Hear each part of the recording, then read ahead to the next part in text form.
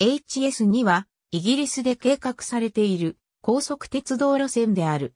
英国政府により設立されたハイスピード2リミテッドにより本事業が行われる。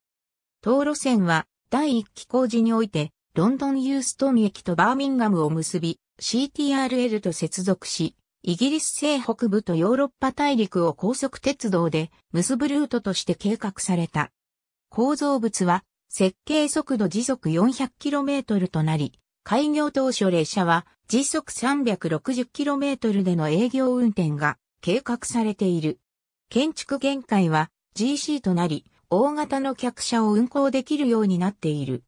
第一期区間の建設は2017年から始まり、2025年までに終え、2026年に営業開始する予定である。ロンドン側のターミナル駅はユーストン駅となる。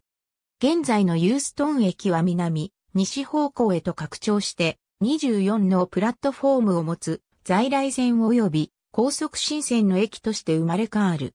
ユーストン駅の北側には HS1 への連絡線も設けられるほか、ユーストン駅とセントパンクラス駅間にはピープルムーバも整備される計画である。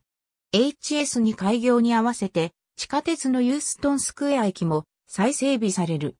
さらに、ユーストン駅の負荷を軽減するために、オールドオークコモンレールウェイステーションが計画されている。また、第2期線として、バーミンガムからヒースロー空港への支線も計画されている。バーミンガム側のターミナルは、ムーアストリート駅の近くにカーゾンストリートレールウェイ、ステーションが計画されている。この駅は415メートルの有効長を持つ6つのプラットフォームを持ち、各方面への列車が発着する。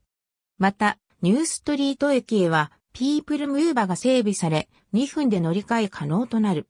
設計者は、北京南駅を設計したテリー・ファレルとなる予定である。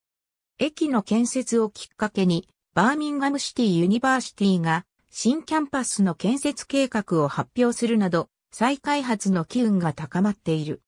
また、本線上には、バーミンガムインターナショナルレールウェイステーションに隣接して、バーミンガムインターナショナルジャンクションが計画されており、ロンドンからバーミンガム空港まで40分でアクセス可能になる。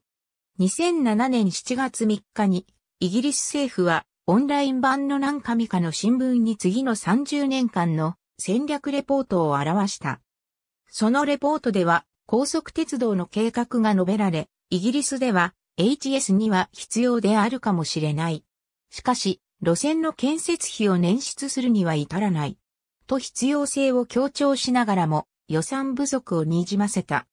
2012年1月に第1期線の建設計画が2013年1月に第2期線の計画が承認され、第1期線は2017年の着工を目指している。2020年2月にジョンソン首相が計画の続行を表明した。A、高速鉄道 HS に継続走行費増もインフラ重視。日本経済新聞2021年1月28日閲覧。ありがとうございます。